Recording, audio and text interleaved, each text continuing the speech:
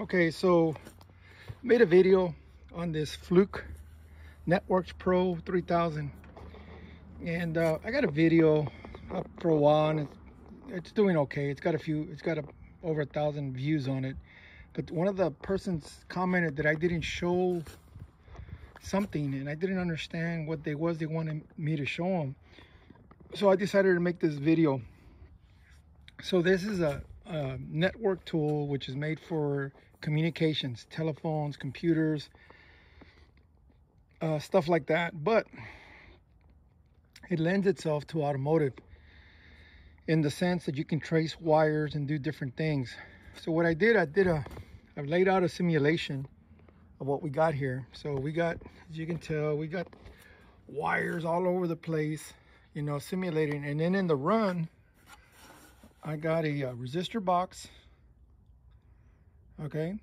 And I got a, a light bulb resistance. Resistance can be anything from a weak connection to corrosion you know what it's interference is what it is with the signal right? So remember you're trying to find an open um, and also you can find out if it has a short we'll get into that here in a minute. So anyway what I did I went ahead and uh, at the end of the wire okay we put the one end of the meter at the start of the run. We put a test lead right there and that and we're going to show the resistance here in just a minute. So what we're doing is we're showing the resistance in the run of the wire right? We're at the very end of the wire which is right here. And this is where it's going to end. So we're going to go ahead and we're going to look at the the value. There it is 483 ohms but if we go over here we can manipulate it with this box resistance box, which I like. If you don't have one, I recommend you get one. It's pretty neat. So we go back over here. And as you can tell, we're down to 51 ohms.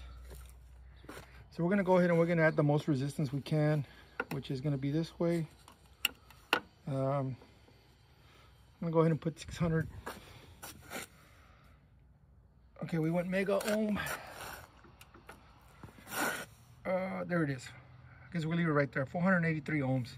So i'm going to go ahead and take off the the meter so i can demonstrate how the how this works in automotive. You know what i mean? Um, so right here this is the way you would connect it. Oh there you go. This is the way you would connect it. Like say this is the wire we're trying to investigate. You can use this black one or you can put it to ground. But what happens is if you do that if you do that you're going to have a signal going through both wires and I'll show you in a minute what happens when you do that. Okay, so what we did over there at the wire, we have the black and the red connected, which is going to be the black and the yellow. And what happens is you kind of cancel out the signal. You won't get you won't get no beeping sound. So I highly recommend that you only use the uh, the uh, the red only, or make sure that there's no no uh, short. Now watch this if you release it,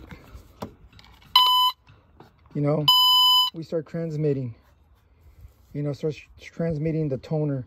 So let's go ahead and let's do this run, right? So we're gonna start right here. You're gonna see right there. At this point, we're at about over eight feet, nine feet. Still got a signal. Still got a signal. Still got a signal.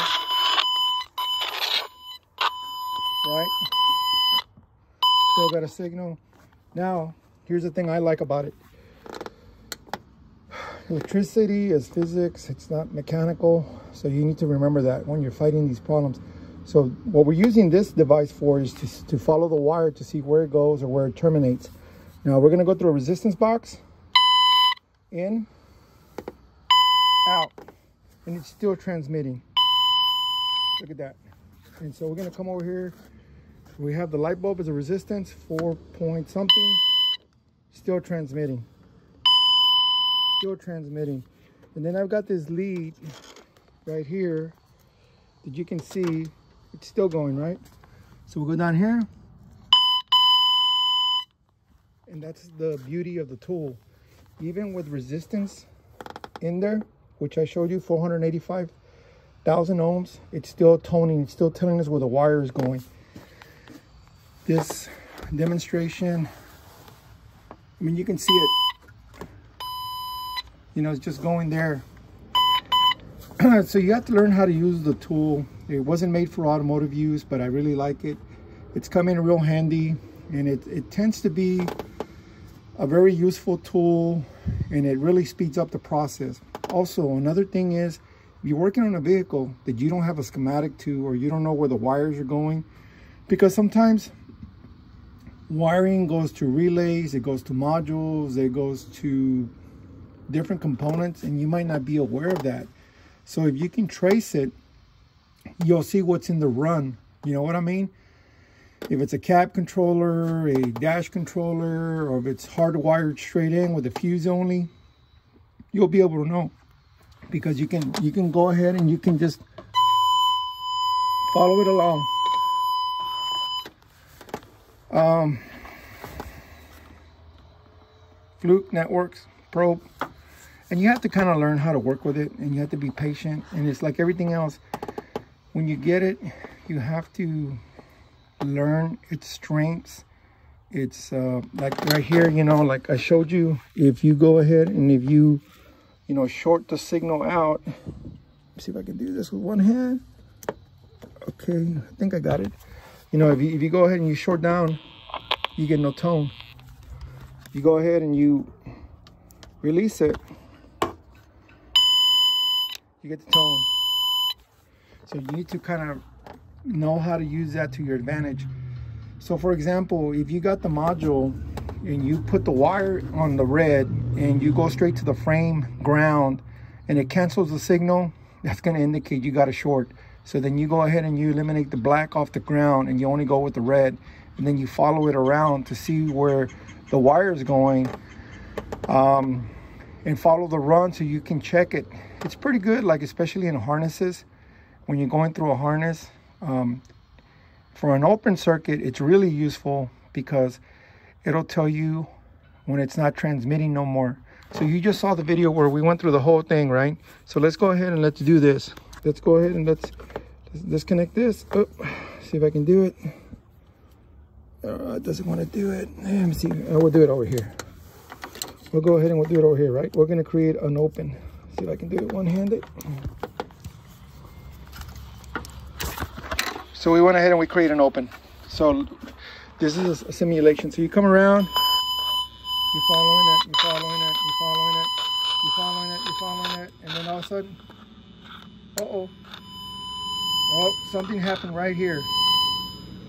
You know, and if you, and if you know where the wire terminates, you come over here. Uh-oh, uh-oh, uh-oh, uh-oh, uh-oh, uh-oh.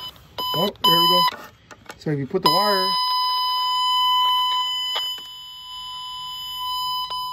you, you'll pick it up.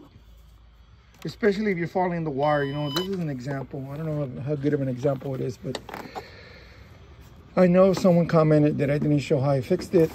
Electrical, everyone's different. Every case is different. You got so many variables.